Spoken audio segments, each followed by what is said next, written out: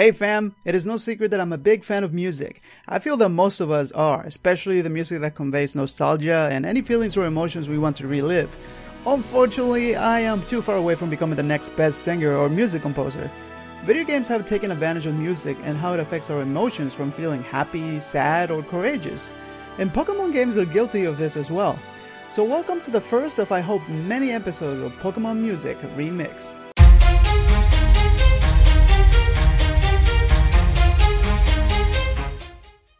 Today we're going to take a look into a track composed by none other than the master Junichi Masuda.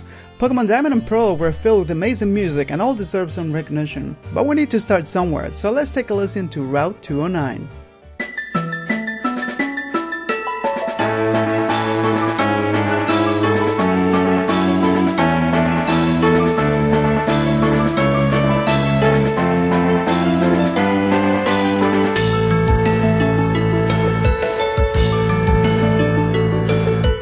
Somehow, this track, some might say, is out of place, as this route is home of the Lost Tower in which dead Pokemon are put to rest.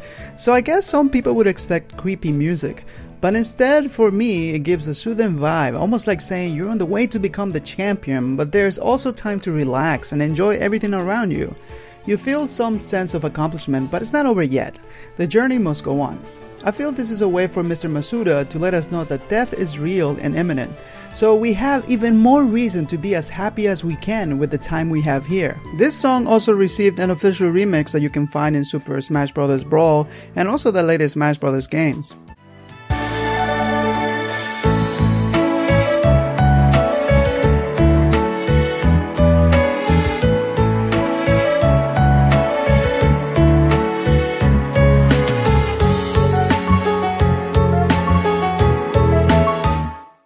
But this is where you guys come in. This show is for you, so if you enjoy Pokemon music so much that you are making remixes, feel free to share them here if you want to get some exposure.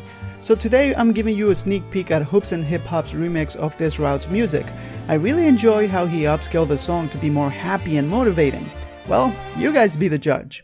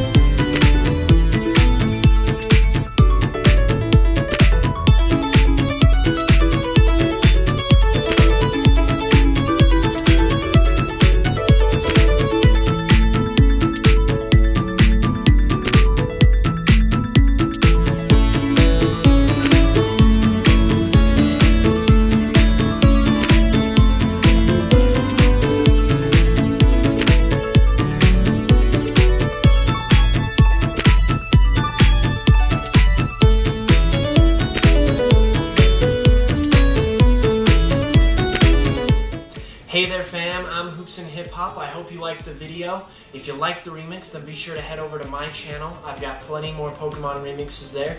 I also do Zelda remixes and I upload every week, so be sure to subscribe so you don't miss out.